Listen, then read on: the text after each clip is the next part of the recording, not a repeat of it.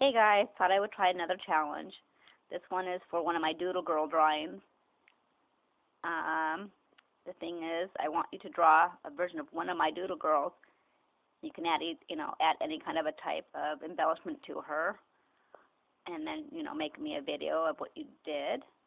Rules are, you can be, one, you have to be one of my subscribers. New ones are welcome. You can tell me one craft thing that you didn't like that you made and obviously make me a video with your doodle girl. My deadline I want to be December 15th. And of course my winner will win one of my doodle girl, the doodle girl that I show in this current video, which I'm going to show you guys right now.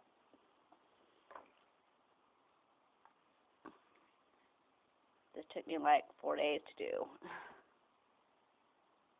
It's all colored pencils and some well, some watercolor, but mostly colored pencils.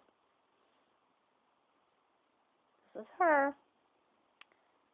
So please, please enter, and I hope you guys have a great day. Talk to you guys later. Bye.